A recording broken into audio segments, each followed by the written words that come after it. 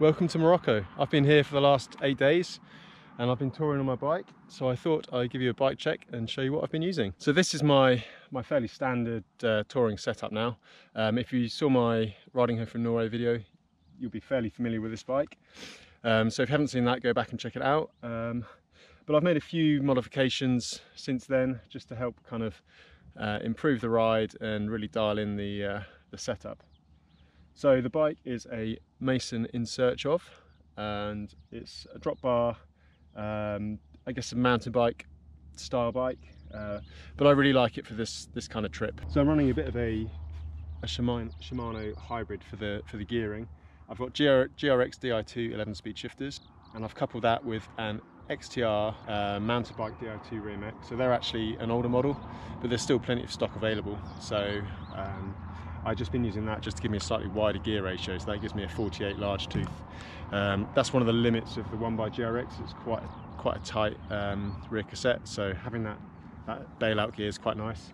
And then I'm running a 36 tooth um, chainring up front on an XT 12 speed chainring, and that's primarily because I was running the old XTR 11 speed chain set to match the mech, um, but I can't get a 36, 36 tooth chain ring at the moment, so um, I'm making do a 12 speed. It works fine, creaks every now and again, but you know, it's a tour, so bikes always creak. So onto the wheels and tyres. This is probably my favourite setup. Um, I'm running, these are, well, at the moment they're custom Hunt wheels, but there'll be a, a production version fairly soon. They're basically the limitless gravel rim um, with 28 holes front and rear, uh, and they're on boot, they're on boost mounted bike wheels. It's a trail wide rear hub um, from the Hunt range. And then a Son 28 Dynamo front. And then I've got these awesome Rene Herse Antelope Hill 55 millimeter big fat slick tires. They're just super comfy and you know I'm touring like top speed isn't isn't my priority at the moment. Um, so these are nice and fast on the road but I can go off-road and have a you know a decent amount of grip. If it's wet, I might struggle a little bit, and if it's super steep and um, loose, then you just have to be a little bit careful. But generally, they're very capable. And the main thing is, I think they look absolutely awesome. Onto the cockpit, um, I'm using my trusty Ritchey Venture Max alloy bar. I love these bars. I've been using them for six or seven years, and they just work really well for me. GRX shifters, and then I've improved, well, updated my setup from the last trip. I've got this Redshift stem in there. Um, it's really good for this kind of trip, especially as the roads here aren't super smooth. Just takes the edge off. And when you go off-road, it again helps take the, the worst of the hits away. Onto the sort of uh, the dashboard as such. I'm still running the original Wahoo Element um, GPSs. I've got a couple of those and they just seem to work. So I don't see any reason to, to change at the moment. Um, I've got a GoPro on the bars and obviously one in my hand I'm talking to. And then lighting wise, I've got the Klite system. So I've got the, the light on the front here, got the switch to turn the light on and off. And then down the side, I've got, in the side pocket of my bag, I've got the USB charger so I can keep all my gadgets and everything charged up as I'm on the, on the move. Onto the bags, I'm still on the Tailfin R&D team and that means I get these fancy custom bags which is very nice. So this is a Custom frame bag for this bike, very well proven. I've used it on loads of trips. It just works really well. Top tube bag as well. And then I've got my custom rear pack. So I've actually got uh, my camping gear for this trip. In the end, I, have only really camped one night. Um, accommodation is pretty easy to come by here and, and, pretty cheap. And it was freezing cold up in the mountains. Um, so I only camped once. Um, but essentially my, my sleeping gear and casual clothes are in the back here. So in the rear bag, I've got my Albion down jacket. I won't go into details on clothing in this video. I'll do a separate one, so keep your eyes out for that one. I've got my PHD custom sleeping bag, just in a separate dry bag. I've got a Thermarest Neo Air sleeping pad. It's a full length one. Um, I just can't be doing with short ones on trips like this. Inflatable pillow. Want to be comfortable and it weighs nothing. I've got a little travel towel because sometimes you know you just might want to have a wash in a stream or you might stay somewhere and they don't have towels so weighs nothing always worth taking and then I've got my um, my casual clothing, again, I'll run through that in a separate video, but I leave that, that in here um, and that just tucks in my bag. And then when I get somewhere and I have to leave my bike downstairs or not in my room, I can just grab that and that's everything I need for the evening. In my frame bag, I keep clothing that I'm gonna need um, and items I'm gonna need during the day. Uh, so again, I'll run through the kit properly, but there's a few layers like gilet, leg warmers. Um, I've got a little Albion folding backpack. That's good just to put stuff in, either if you're emptying your bike to stay in a room or you stop at the shop and can buy a load of food. It's just useful to have there, weighs nothing. Um, got my gloves.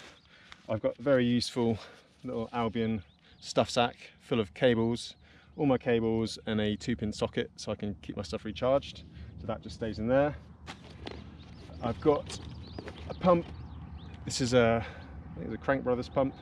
Seems quite reliable, quite light and it's got a couple of layers of tape on there for for just bodging stuff and what else got I think there's some cable ties floating around because again stuff might need to be mended um, got my Di2 charger because Di2 batteries go flat and you don't want to get stuck single speed especially in the Atlas Mountains and then I also have the poles for my tent I'll come on to the rest of the tent in a second, but I keep poles in there just because it allows everything else to fold up neater.